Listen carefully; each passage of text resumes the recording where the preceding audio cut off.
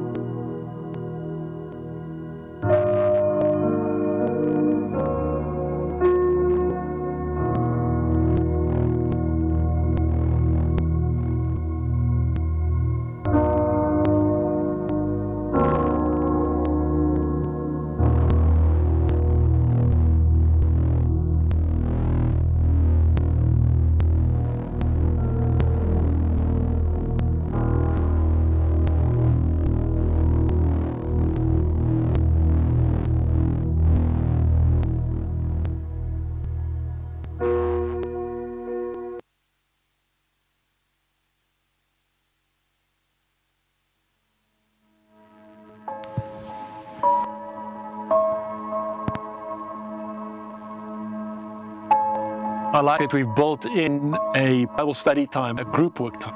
Uh, that is, let's take this passage in our group, in our class, unpack it, and study the scripture. Bible school is a communal activity. You're not the only one that's going to do Bible school. There's a whole community of studying, whether you're studying in a class or enrolling online. There's a whole community of people who have the same passion as you, who study God's Word, and you will enrich one another. You will gain friendships and partnerships with God in Bible school. We engage with the Word well. we grow spiritually because we we come to know the author of the Word when we study the Word. And Bible school gives us that opportunity to, within community, learn about the Bible and become effective uh, disciples of Jesus Christ. By deciding to enroll for Bible school, really just demonstrates an intentionality, uh, a purposefulness about us to say that God, I want to, I want to block out uh, two, three hours, whatever it might be per week, and I want to make sure that I give you dedicated time, dedicated time to spend in the Word. you're going to get to understand the Word. You're going to get to, like the Bible says, handle the Word of God rightly, to know how to use it, to not deal with it loosely or clumsily, but to get to know and to get to love the Bible. I want to encourage all of you guys, if you haven't done Bible school yet, go for it. Awesome. So that's Bible school. I really want to encourage you guys, come check it out. So we're starting off on the 28th of Feb. Okay, so the first three sessions are for free. So come come around. It is right here at church. It is from half past six up until, until around about nine-ish. All right, so come join us for Bible school. It is really awesome. Um, yeah, it's an awesome time with believers where we just delve into the Word of God. All right, so it is my privilege to invite our guest onto the stage. Simone, if you can come join me on stage, that would be awesome. If we can give Simone a, a round of applause. She made her entrance a bit earlier. But um, yeah, man, we just just want to make use of this of this moment. So she doesn't need much introducing. So I'm going to leave it up, up to her to, to do that. Uh, so I think it's the second time visiting us.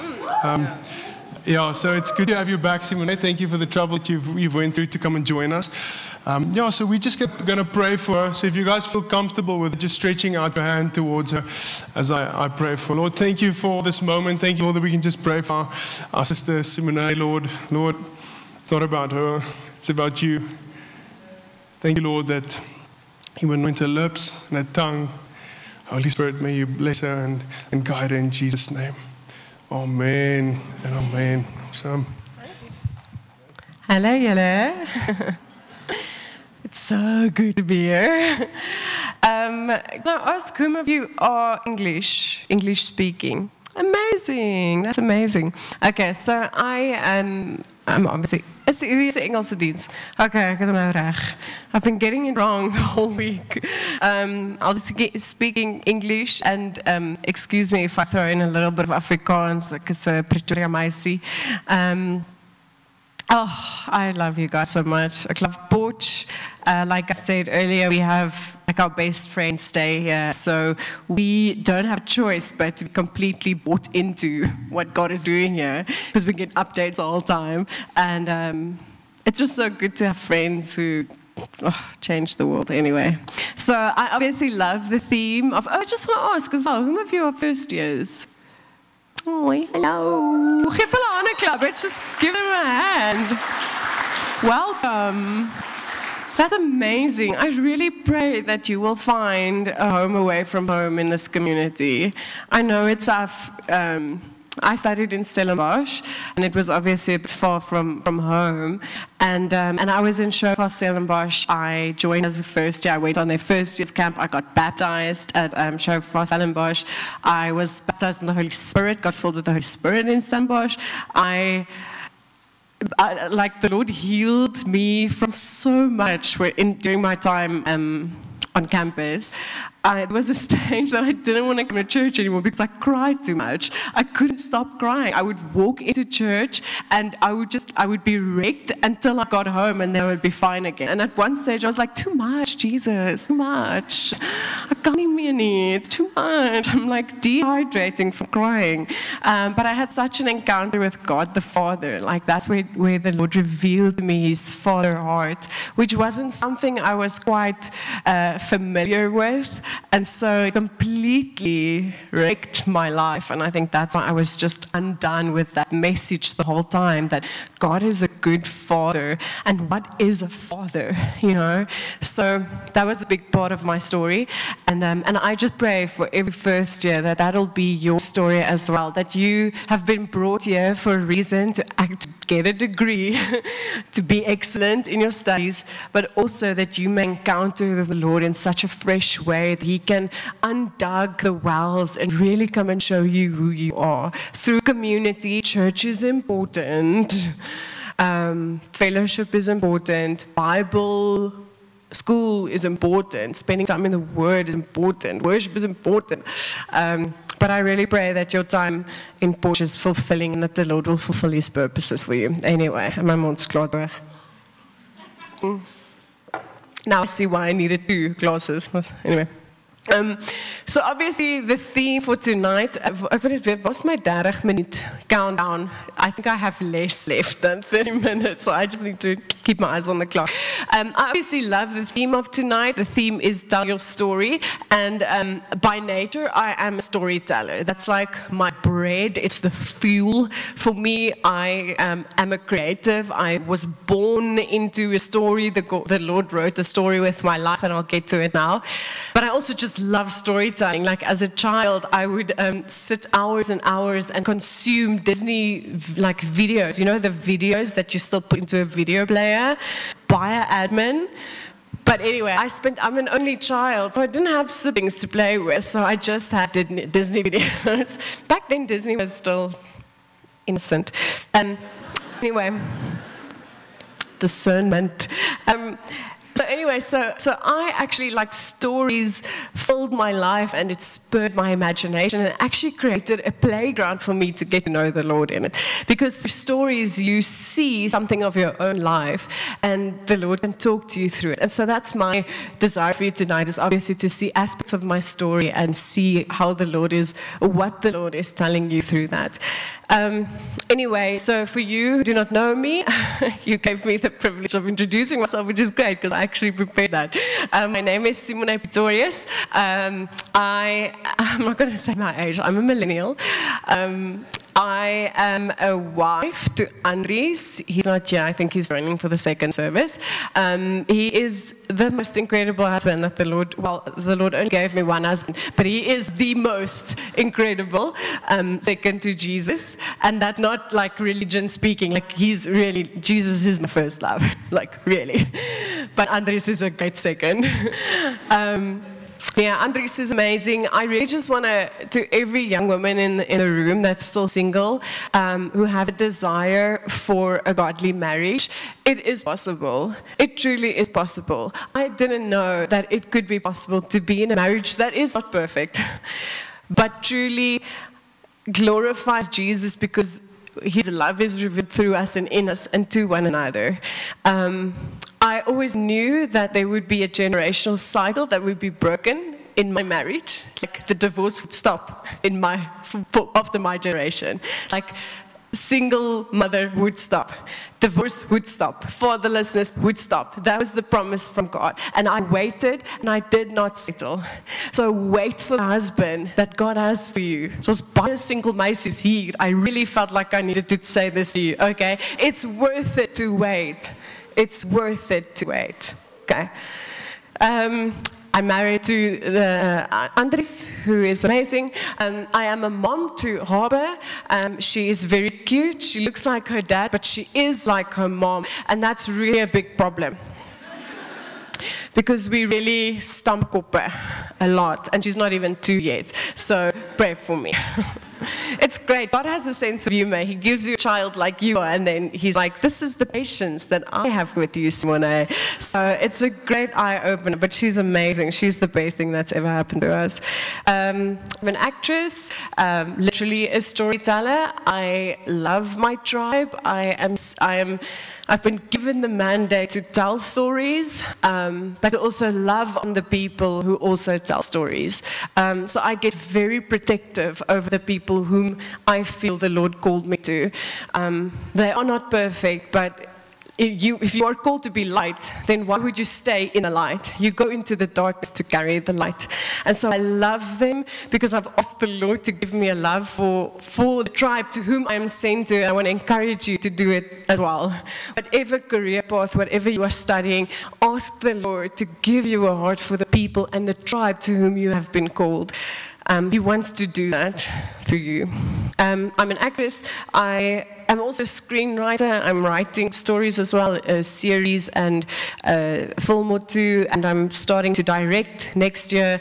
And I'm also presenting, sorry, I have to do this little plug. I'm presenting an acting course in Potchefstroom called The Art of Acting. And um, so it's from the 24th to the 26th of March here at Kukua. Thank you for the venue.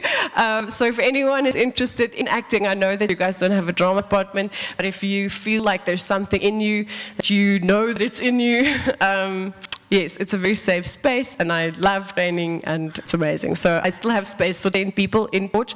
Um, sign up.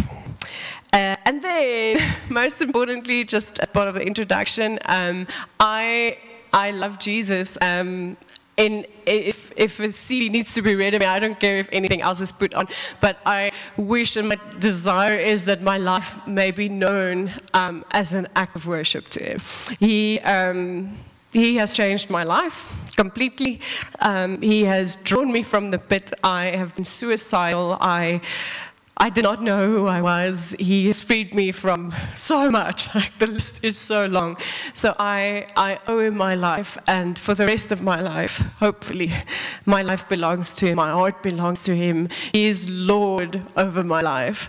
And there was something very um, special about where we sung when we sang.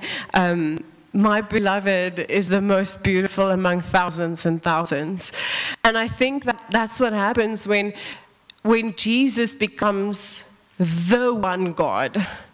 Because we, we're not in a culture where we worship different gods, like different uh, New Age or whatever gods. You know, our, our other gods don't have names. Our gods, the ones whom the Lord has to fight for our affection, whom we have to fight to give all our affection to Him, are things like romance, marriage, academics, name it, finances, money, status, popularity. Those are the things that we naturally start to worship if Jesus is not on the throne of our heart. And it's going to cost you to put him on the throne of your heart. You're going to have to kill the other idols. But he is the most beautiful among thousands and thousands and thousands of things fighting for your affection. He is the one thing that'll keep you through trials, through dark, dark times, when you feel like you lose everything. He is the one thing that we have been clinging to. And it has been so beautiful. What comes out of you when you are being crushed is a fragrance that cannot come out of you when there is no crushing. And he says that he draws near to the brokenhearted. If you are brokenhearted tonight, he draws near. He doesn't say, they draw near to me. He says, he specifically states that those who are brokenhearted, I will come to. I come to you when you are brokenhearted. Blessed are those who mourn. I don't know if there are some of you that go, that's, you might be going through something, but I just felt like that was a word for you. Anyway, so my story. I just want to say, is he out here? Is he so? oh. I just felt to, I just felt to lift you out. Like you know, I know her from my Stellenbosch days, my university days. Ek wil jy moet baie, ek wil. I've known that woman since university. yeah, gaan ek moet doen. I'm gonna have to do it. And I also think it's because I know that you've heard the story like a billion times and you are still here. when I saw you, I'm like, oh yeah, yeah, I'll put some new jokes in or say something new just so it's exciting for you. But I just want to honor you that you are obedient to the word of God over your life. And I'm so I'm so excited that God sent you here as a pillar to strengthen the church because you truly are like a polis. You go where He sends you. And I just want to honor you. You are a mother of the house. You carry a mantle of motherhood over your life. And other people can find shelter in that. And you don't have to be a literal mother to do that. You are one of the people that carry motherhood without being a mother, that you inspire me on the selflessness of your love. Ek wil jou net encourage. You're amazing. It's just, can you just give her a hand?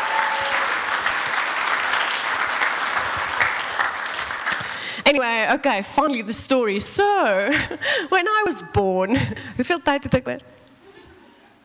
Well, cool, cool. Okay. Ek gaan movie version vertel. Um, so I, when, when I was born, or when my mom fell pregnant with me, that was in 1989. My mom was in the South African Air Force. Uh, she was a woman in uniform. She's been working in the Air Force for 10 years. She was 30 years old at the time. She was working for like the general of the South African Air Force. So she was quite well known in that time. She had worked so hard. She was very career driven. Um, didn't want to know anything about men until she met my father. He's quite handsome.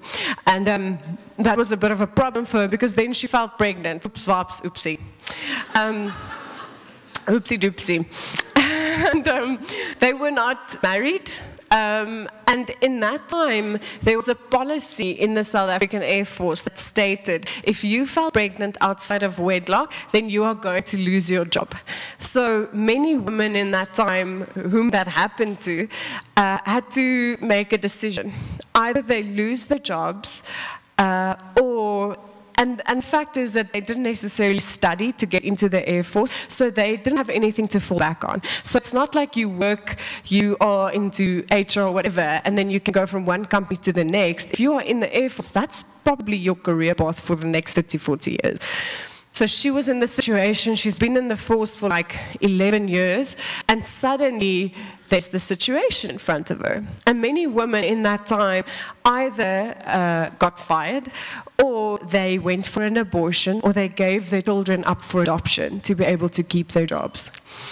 And my father didn't necessarily want to get married, uh, so my mother felt like she had no choice and she went for an abortion. So this is an interesting part because you guys obviously know what happened, but just act like you don't know what happened. okay. Just act like this is a part of the movie where you're like, what happened? Did the abortion? Anyway, so she went to an abortion clinic, um, but when she tested for her pregnancy, she had blood tests done, which means that there was obviously a paper printed with the blood results she is pregnant. It's not like a stocky that you pee pee on, which I feel is the natural thing to do. But anyway, she didn't do that, so it was like black on white on paper, oh, black on paper, that that is the situation. And so she goes to an abortion clinic in South Africa. It was still illegal in that time. And when she went to it, the doctor recognized her, I don't know how, and he said to her, I, I, I, feel like it's the fear of God that came over him, and he said, I cannot perform this because somewhere there is a document that states that you are pregnant. And if anyone finds that, they're going to ask, why is she not pregnant anymore? And then naturally they're going to find out that I did it, and I don't want to get locked up, so Yammer, I'm not going to perform the abortion. I feel like he had a bit of a big imagination, but praise God, that's fine.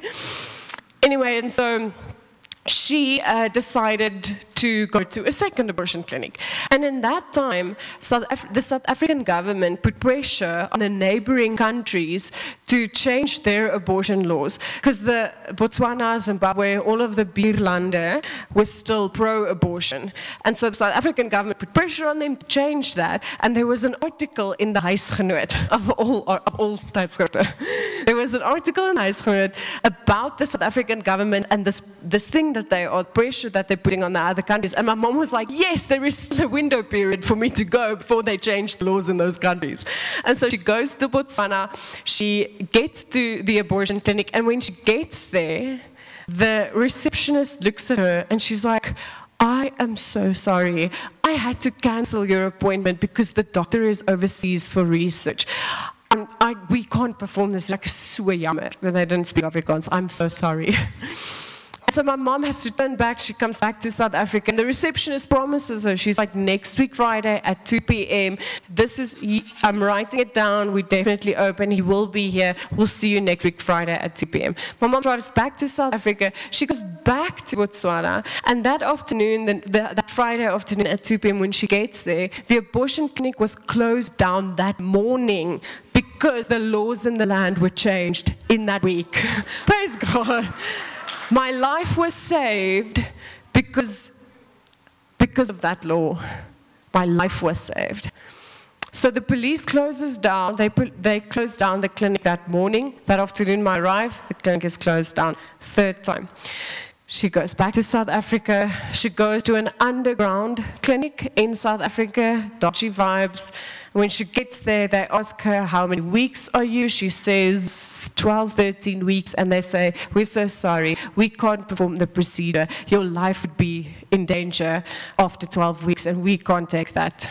We can't take that um, risk. We can't take that risk. So sorry. Fourth time. The fifth time, she, I'm kidding, there wasn't a fifth time. Hallelujah, she stopped. she stopped. My mom put me up for adoption. She sees a social worker. Um, and on the 11th of May 1990, she sits across from the social worker, and the social worker looks at her and she says, Tikkie, I am not supposed to tell you this, uh, but I really feel she was a believer. She said, I really feel like you'll make an exceptional mom. Are you sure about this decision? And my mom gets all fluttery and anxious, and she's like, ah, I'm just a son. I need to run because I see, oh, they're giving me a traffic fine. So I'm going to go, and then I'll see you in a week's time, and then I'll sign the adoption papers because she was supposed to sign the documents on that day. I had a different family and everything. And so she thinks that she has time left because she still has a month left of a pregnancy. And a few days after the South African Air Force finds out that she's pregnant, she goes into shock labor. And two hours later, skiet ek uit soos 'n pyl. Okay? My mom's like, Oh, you were so fast. And I'm like, Yes, because I was so glad I'm alive. I'm like, I'm not staying inside any longer. I don't know what you're going to do with me, woman. I'm coming. And by nature, I'm quite an impatient person. I feel like the Lord used it in my birth already. Anyway, He can use anything. So, um, so I shoot out in her words. And, uh, and because it was a month too early, and the gynecologist that was supposed to deliver me was not there, he was also gone on holiday or something. A locum doctor stood in, um, in, in his place. He delivered me. No one knew I was an adoption baby because it was like, my mom, ah, so much pain. I can't think of the fact that I should tell them that I'm not keeping the baby. And the papers are not there, the signed documents are not there, nothing is ready. I am there, and they put me on my mom's chest. And you are not supposed to do that with an adoption baby. If your child is put up for adoption, you take the baby immediately out of the, out of the theater. And so I'm on my mom's chest, and she says, I just looked at her like this. what you gonna do? and she said, I didn't even cry. I just looked at her. And so a day or two after, I was in the NICU, I was in a, in a can't remember incubator. I'm in the incubator, and uh, but I'm quite healthy, so that like the sisters can take me out and feed me and everything. And the first time that she visits me is 24 hours after with her social worker and her best friend because they just want to see what the baby looks like. And so they, they're at the window and they're looking at all the incubators. And there's one incubator without a name just a baby wrapped in pink. And so this baby starts crying, it's me. I start crying. just in case you think it's someone else. and so I start crying, and the nurse takes me out, and she looks my mom, and they're like, Can they try to comfort me. And so they, the sister brings me to my mother's best friend, and she tries to comfort me, and nothing works. I just cry, I scream my lungs out. And she passes me to the social worker, and she's like, oh, she tries to comfort me, and nothing is working. And they just look at my mom, and my mom's like, okay, God. And my mom takes me in her arms, and I just look at her again, and I stop crying. And in that moment, my mom says, with the locking of eyes, she knew that she would give the world for the baby. And she decided to keep me, and she decided, I will lose everything, I will lose my job, it doesn't matter, I'm keeping my child. Which is the thing that the Lord has been speaking to her from the beginning, but she didn't want to listen because she was fending for herself. It was an act of self protection. What else, what other option do I have, God? I have to do this. Not really leaning into what He wanted her to do. But when my mom chose obedience, favor fell on her decision, and the Air Force had a disciplinary hearing for her. And because she was an excellent soldier and they had nothing else to find against her, she could keep her job. And not only that, they changed the policy so that other women didn't have to give up their children to keep their job. My mom became the first woman in the South African Air Force to keep a baby and her job. Praise Jesus. Yes. It's quite amazing. Um, because that's what happens when you choose obedience. There will be fruit to your decision, and God honors that. And He honored that with my mother's life. Anyway, um, a few months go by, my father decides to make the right decision and to get married to my mom. I think it's because I really look like him a lot, and people knew. and so, as socks my anyway. Um, and so they get married a few months after, uh, but they don't stay together for long because anything born out of obligation cannot be sustained. Right? It's the same with religion. Is where there's obligation, we cannot sustain love. It has to come from a pure place. Jesus, you love me so much, I cannot help but love you back. Here is my love from that place. That's not obligation. That's a true response to love. My mom didn't have that. And anyway, a few years after their marriage came to an end. And so it's me and my mom. I don't have any siblings. My mom never got married again. And it was just the two of us. Um, and I saw my father every now and then, but not a lot. And then he moved to Cape Town. And I didn't see him much during my life. But I, I just want to also honor him. I know that there's a road that I've walked. Um, my father isn't perfect, but he is amazing. And I really believe in God's plans and purposes for his life as well. So if you need to be reconciled to a parent, if one of your parents there's been disappointment, I stand as a testimony to you today that God can redeem that in your heart. And maybe you will not have the perfect relationship with your parents on earth, but you can have a perfect relationship with your parents in heaven one day if you continue to pray for them. And Jesus can do that.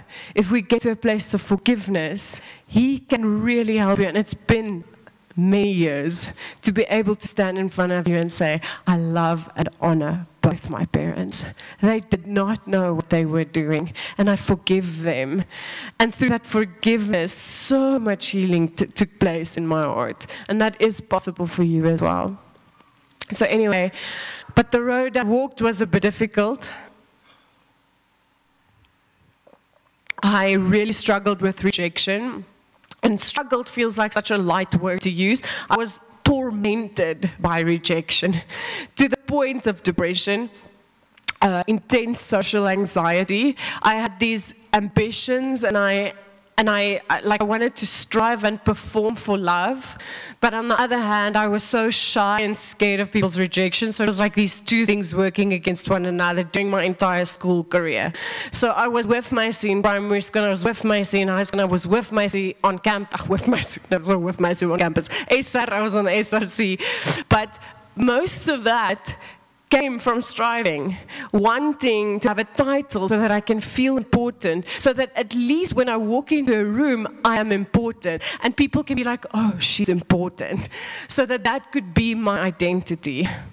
So I've been striving for these things, but inside I was so deeply, deeply broken and deeply insecure and deeply plagued by rejection that I did not even actually want enter any other room. In, in, on campus, university, I didn't want to go to class because all eyes would be on me. There was this class psychology or something where the, the rows were like there's like amphitheater and the entrance to the room was like down here. And when you entered, everyone would look at you and I would, I would just not go to that class.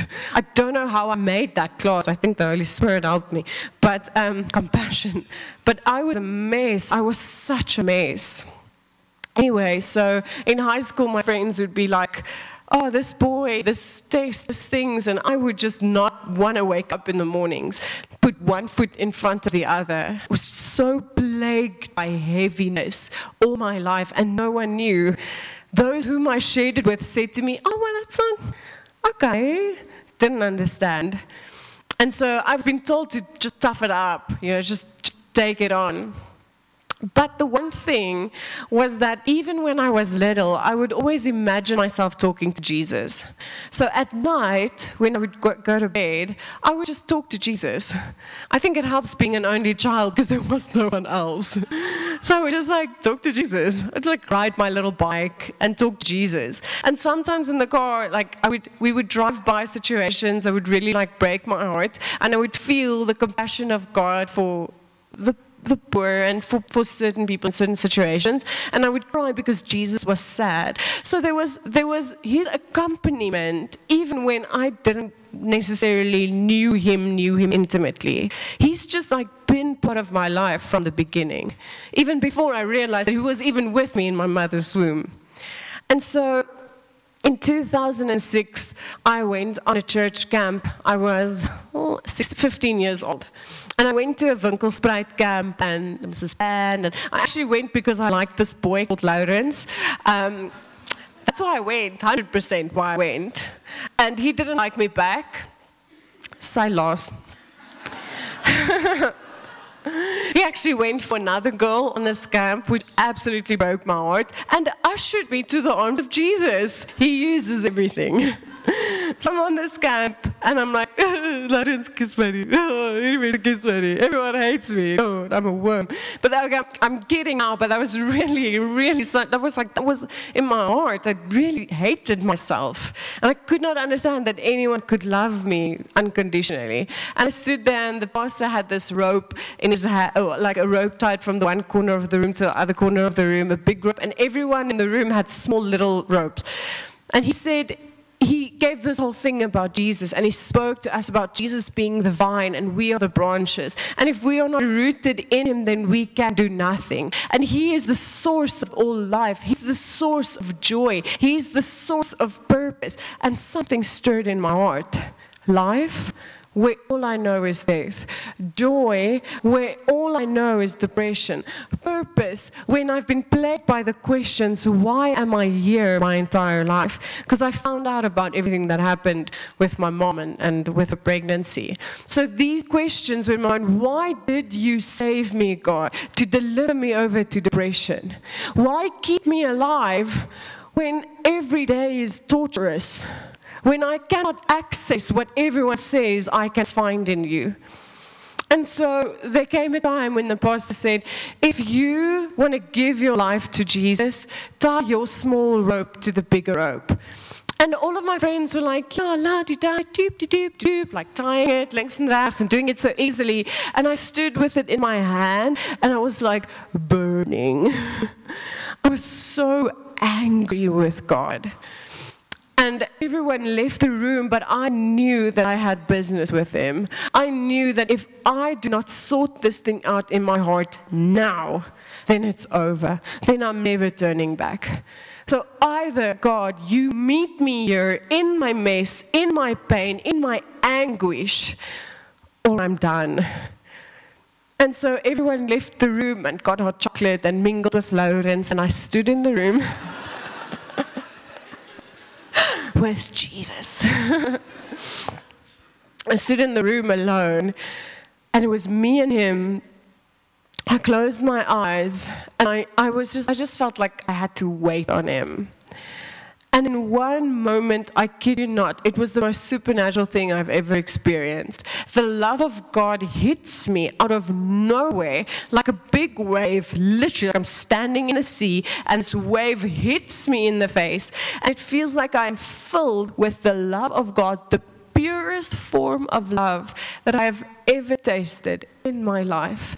And I know for the first time in my life, I am completely loved.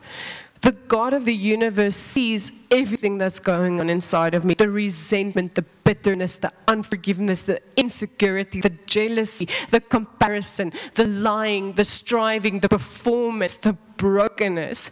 And He loves me purely, every part of me. He's like, I want you. Nesia is. You don't have to do anything just the state that you are in now, you are lovely to me. I want everything.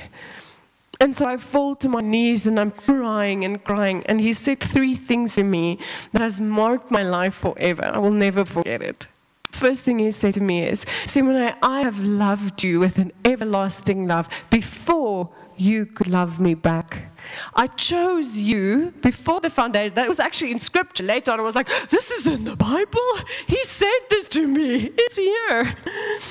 I've loved you with an everlasting love. I chose you before the foundation of the world that you may know me through my son Jesus. Voordat jy my kon terugkies. Before you can do anything for me, I chose you. I went to the cross with your sinful state. I chose you first. Full stop. There's nothing you can do to, do to earn my love. There's no position. There's no serving in church. There's no Bible school. There's no missions. There's nothing, nada, niks wat jy kan doen to earn what I want to give you unconditionally. Free, free for cost. There's no cost to it. The cost is your life. But it's easy. It's easy when you know His love. And so that's the first thing he said to me. I loved you before you could love me back. Second thing he said to me is, I have a plan with your life. I needed to hear it. I was plagued by the question, why am I here? I'm not the kind of person that can just do things for the sake of doing them. I want to know why. Now I'm a bit better at surrendering, you know. But generally, my personality is me and Andres laugh about it. Andres is the type that when he gets on a ship, he doesn't need to know where the ship is going. He just have a good time with everyone on the ship. Okay? I'm the kind of person, if you don't tell me where we are going, I will throw myself off the ship. I will I would rather drown than not know where we are going. I need to know where we are going. And in that moment the Lord was like, you may not know where we are going, but I know where we are going and we are going somewhere. And that's all I needed to know security that He has a purpose for my life. He's writing a story, specific story, with my life that He cannot write through anyone else. He's writing a story with your life, with your life, with your life that He cannot do through anyone else. Gifts that He has given you, a calling He has bestowed on you love, compassion, things that you carry, leadership, mercy, justice, a heart for justice, racial reconciliation. Some of you have these things in your life, and God is like, I put it there for my glory.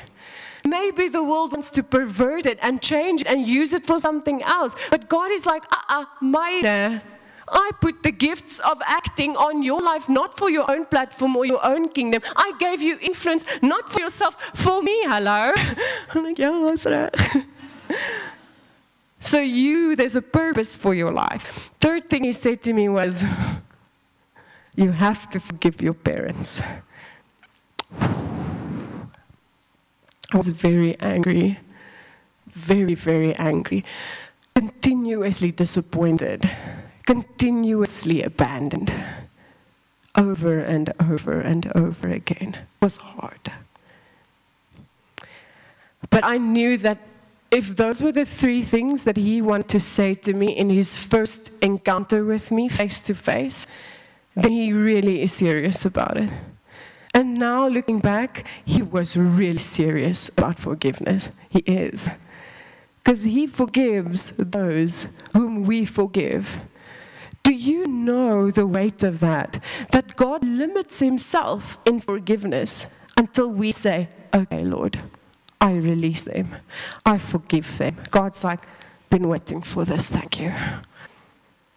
We get to partner with Him through forgiveness, in other people's deliverance, in other people's getting to know Him, in other people's freedom. Sometimes it depends on you forgiving them.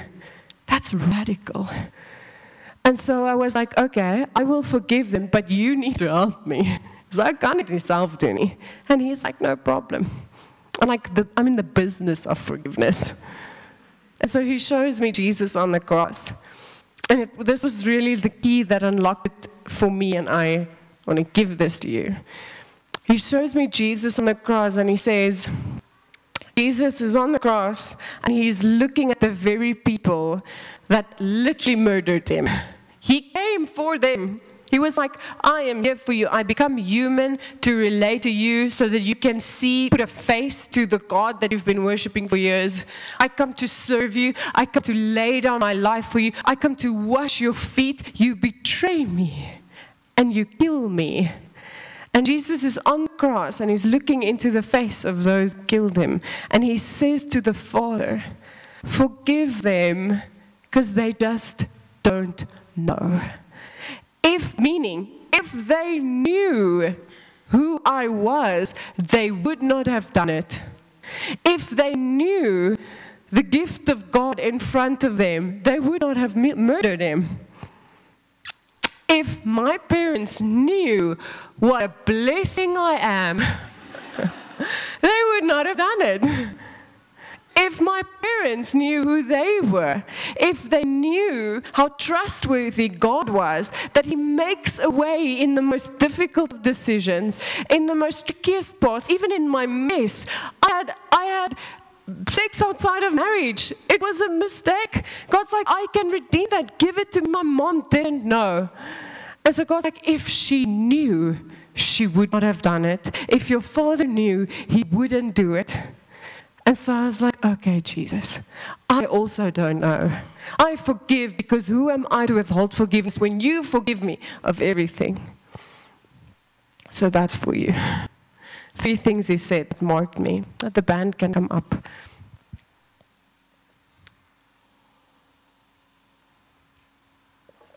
So I gave my heart to Jesus I kept those things three things close to my heart. And it's been, oh, wiskunde, 14, 17 years. Is it 2006, yeah. I studied drama. um, it's been 17 years of walking with Jesus. And it's, it's been a struggle. I'm not going to lie to you. You're going to have to continually say yes to what He wants to do in your heart. Because no one, none of us are perfect. I'm sure that you are sitting with a lot of things that you are grappling with, wrestling with. I actually felt like in first year, when I got filled with the Holy Spirit, and I was just like, this whole world opened up for me. It, it felt to me, when I got filled with the Holy Spirit, or actually just when I met Jesus, it felt to me like I knew him from church, belydenis van geloof, and all of the things, sonnaskool. Like I knew about him, but it felt like I was in this gallery of a house, these Spains. And like this was what I knew of God. And suddenly Jesus opens the door of that scullery of the Spains. He rips it open. Light fills that dark room. And he's like, Can I show you the house? and there's a whole house that's mine. And I thought it was just this. This is what it was. But Jesus opens the door into the house. And you're like, sloopende water. There's a bed. There's a TV. There's matte. Oh, there's bome. All of it, you have access to whatever you long for. There is so much for you in the Father's house. I never thought I would be 32 years. I never thought I would make 32 years old because I tried to take my own life. But I'm 32 years old and I'm standing on, on like ground and I'm looking back at my life and I'm like, how? How did you deliver me from all of that? Is it possible? It's just, am I whole? Wow. Joy. What? I am alive. I feel gratitude where all I felt was entitlement. Shame? What a shame! Everything that disqualified me in my life previously, ah, he took that. He took unforgiveness. He showed me the Father I'm father? Wow. You can stand with me.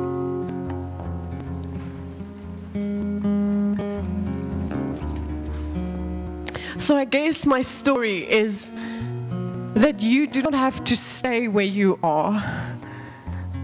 There is permission for you and there is hope for you. If I can stand, if, if I, of all people, that's like I the enemy tried to take me out in my mom's womb. I was plagued by a spirit of rejection from my mother's womb. I didn't stand a chance if it wasn't for Jesus.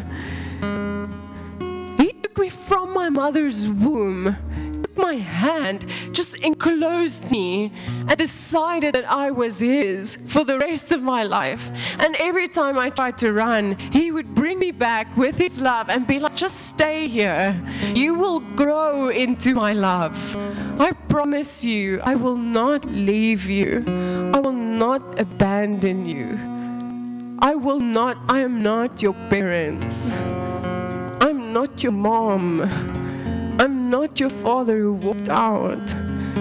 I'm not the house you came from that's broken. I'm not the parents you have that scream at each other. I'm not I'm not the parents who choose other siblings above you. I'm not the friend who bully you. I'm not the romantic partner who walked out on you. I'm not the husband who left you.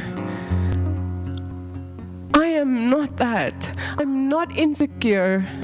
I do not manipulate you. I do not use my power against you. I am not abusive. I do not have addictions. I am faithful. I am secure. I am love. Not I have love. God does not say in the word, I have love to give you. He says, I am love. I am. Fill in the gaps. Fill in what you need tonight. I am unconditional love. I am the force of forgiveness that will empower you to forgive. I am the force of love that will hit you in the face with my love, bringing you to your knees, and I will mark you with my purpose. I am purpose. I am peace in your anxiety. I am joy in your depression. But I have to get what you have for me to give you all I am. There is a transaction that needs to take place. He cannot fill what is already filled with something else. We need to be empty to receive what He has to give. So, will you do that transaction tonight?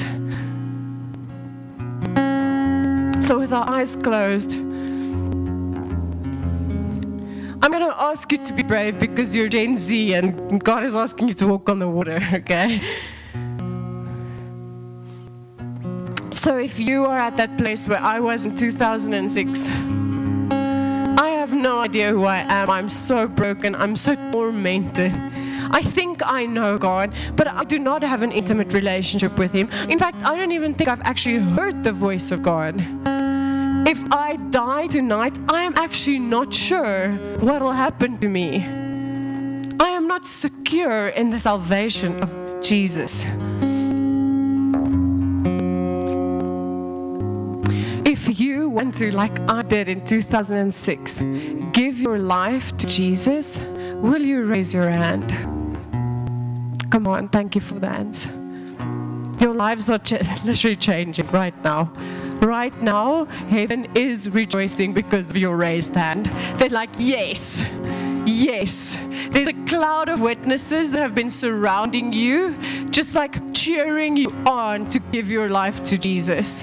So if that is you, you just raise your hand. Will you please come to the front? Just be bold, walk on the water, and give your life. Hallelujah. Come on. Yes. Yes. Give them a hand. Anki, thank you. yes. Yes, yes, yes, yes. This will never, never get old. Never. That's your name. Lenai. He loves you so much. And he says that everything in your life he's gonna use for your good. Every single thing. Every every single thing. And every obstacle in front of you, he will personally roll out of your way. And it's not gonna take effort. You don't have to do it. Come on, I just want to honor you for your obedience. I know it's I know it's tough to come to the front in front of all of these people. They are facilitators, will you please come lay hands on them? Thank you for coming to the front. I honor you. I honor you. I honor you. I honor you. Okay, so we're just going to say the sinner's prayer. Because the Bible says when we confess with our mouths, we believe in our hearts that Jesus is the Lord, that He's the only God, then we are saved. And it's much less about just doing it. It really is that He sees your heart. And it's just an act putting it into action. Because we know that actions speak louder than words, right?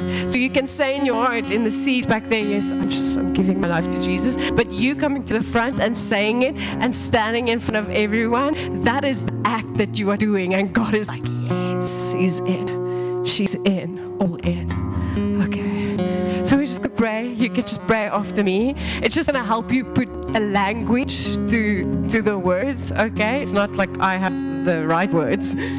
It's just the idea, okay? And I think everyone can just pray along. It's just help him because we're a community and we're a family. Okay? This is insane. This is like Potchefstroom is changed because you just gave your lives to Jesus. Do you know that? yes. It may never. Never. We cannot become familiar with this because this is where we all started. Okay. Thank you, Jesus. Okay, just repeat after me. Jesus, I confess that I am a sinner. I confess, Lord, that I need a Savior. I am desperate for a Savior. I acknowledge tonight, Jesus that you took my sin on the cross. Forever you dealt with my sin and my past. Your blood covered me.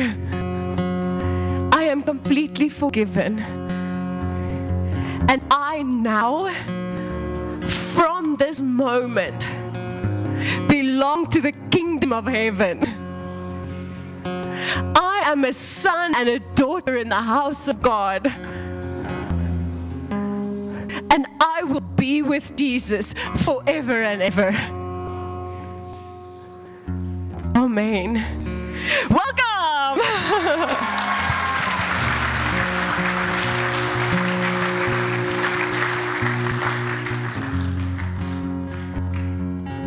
Me. You guys need to read the first three books of the New Testament. Okay. Read them and study them. If you need help, I have an app. It's no, it's not my app. It's called Read Scripture. It's amazing. It'll help you work through the Bible. But if you want to know God, you need to know the Bible, okay? And not from a place of I to do it out of obligation. We do it because He just saved you. You've just been transformed from the kingdom of darkness into the kingdom of light. Ask the Holy Spirit to reveal Scripture, to reveal Jesus to you in the Bible, okay? He, I promise you, He'll help you. I promise you, wake up every morning, set time aside in the Word, put on worship music, close your eyes and say, Jesus, I want to meet you. It's practical, it's not airy fairy stuff. Every morning at six o'clock, I wake up because if I do not spend time with Him, I will die. I will die. I will die. Okay? You need to set time apart to spend time with Him. That's the only way you will grow in His love for you. I honor you, thank you, and I bless you in the name of Jesus.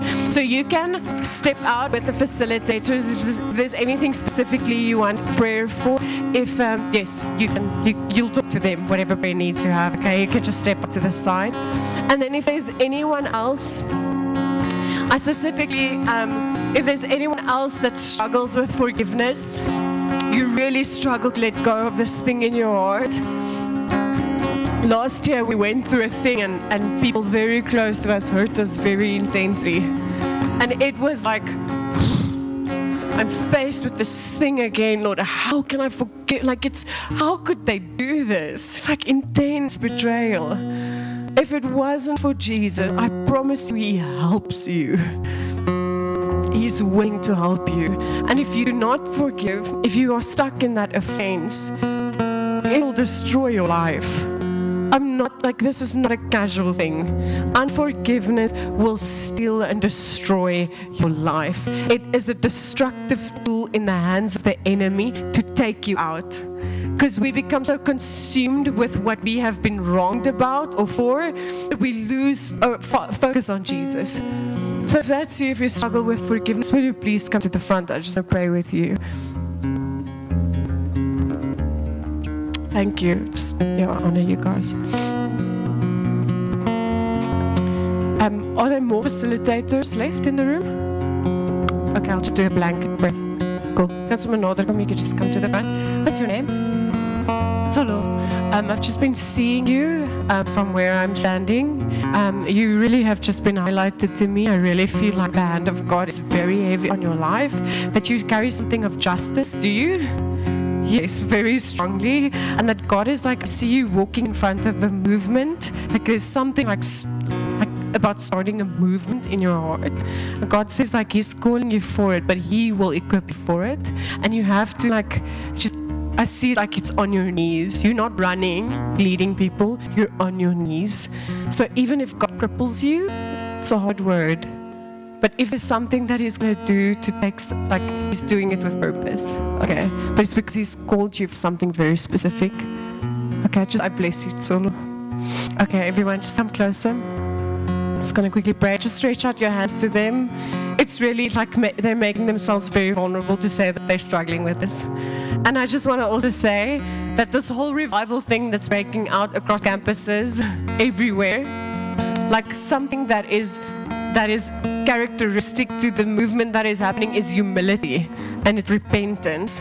So the revival at Asbury College started with one guy coming to the front, taking the mic, repenting of his sin, coming to salvation, and applause erupted in the room, resulting into worship that's been going on for 12 days. Okay? One person repenting, one person humbling himself. That is what an act of humility does. It's the power of humility. Coming forward for prayer is an act of humility, and God moves when we humble ourselves. He lifts up the humble, He exalts the humble. Just stretch out your hand. I just want to hold out your hands. I want you guys in the front, just close your eyes, but just visualize the person that has hurt you or the people that have hurt you. Just envision, just maybe even if it's hard to see their faces. And I want you to see how you put them at the throne room at the feet of Jesus. But you have to release it. You have to let go. Just open your hands and give it to Him. Thank you, Lord. Thank you, Lord. Thank you, Lord, that you give us the spirit of reconciliation. Holy Spirit, I thank you that you give them power to forgive, Lord, because you are so serious about forgiveness. I honor them for humbling themselves. I pray, Lord, that you would reveal to them how much they have been forgiven of, so that they are able to forgive. I bless them, Lord. I just say on their behalf, Lord, that they who have wronged us are forgiven. In the name of Jesus, we release those who have hurt us, those who have persecuted us, those who have come against us, maybe even thinking that they're doing it in the name of God. Father, will you forgive those who have wronged us? Because they don't know what they are doing. Thank you, Jesus. We surrender it completely. Thank you, Lord. Thank you, Lord, that your yoke is easy and your burden is light. And they can come under your forgiveness, Lord. And you will make the load lighter for them. I bless them in the name of Jesus. Thank you for their surrender.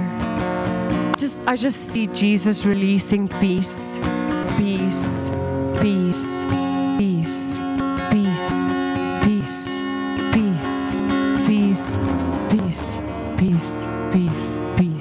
over every one of you. In His name, I bless you guys. Amen. Amen. Thank you guys for coming. It was very special. I'm really excited to see what happens on your campus. Lean in and worship and find your community. God bless you. I bless you. Amen. Bye.